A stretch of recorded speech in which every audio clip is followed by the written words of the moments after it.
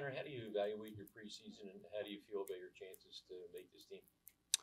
Uh, I feel like I've had a strong preseason. Um, you know, I feel like coming in here, uh, I knew which kind of role I was, you know, trying to make the team for, and um, you know, I feel like I've been playing hard, um, playing, you know, finishing checks, doing all the little things, um, you know, blocking shots, good sticks, uh, playing good defense. So um, I feel like I've had a strong preseason so far, and um, yeah, I'm just looking to continue that tonight.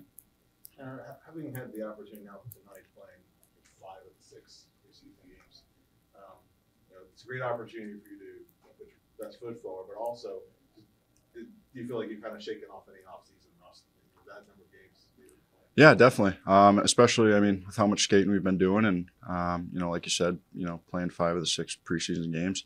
Uh, yeah, it's definitely uh, easier to get back into the game flow and the, you know, the flow of things. So I think that's definitely helped me. Um, you know, playing so many preseason games.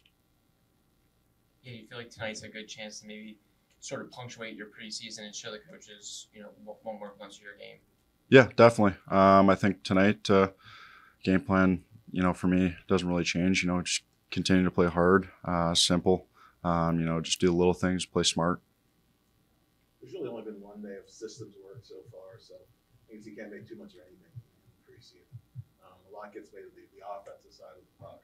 But do you feel like the team, if you look at with scores have been kept down, everybody's kind of buying into, you know, playing, playing discipline, not cheating out of the zone, and those little kind of details that go with staying in games. Yeah, definitely. Um, I think you know everyone's like you said, just buying in and um, you know buying in the little details of the game, and um, you know they they have an emphasis on being aggressive, and I think you know guys are doing that. And you know, obviously, it's a game of mistakes, so mistakes are going to happen. But um, as long as you're you know playing aggressive and you know you're playing downhill, then uh, I think it gives you a better chance. So. How much do you uh, adjust your style of play based on the, the line mates that you're playing with? For example, tonight you're playing with you know two guys that are that are very physical. You know they tend to drop the gloves a fair amount. What does that do to kind of your mindset going into to a shift and into a game? Uh, just play hard. Um, you know, I know who I'm playing with tonight, and you know, I know those guys are, you know, both bigger guys. Play hard. You know, they like to throw the body around. So um, I just gotta, you know, do the same thing. Throw the body around. You know, be felt on. You know, for their defensemen, and um, you know, establish some forecheck tonight, and you know, get the puck uh, kind of hemmed in in their D zone, and um, yeah, just play a good fourth line role tonight.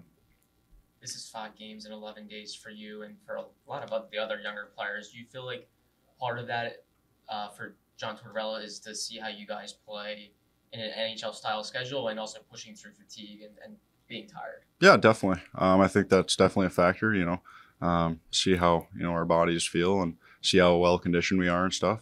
Um, but no, um, I think it's good. Like uh, your earlier question, you know, get a decent amount of preseason games in. And, you know, kind of get up to game speed. So Thanks, David. awesome. Thanks, Thank you guys. Appreciate it.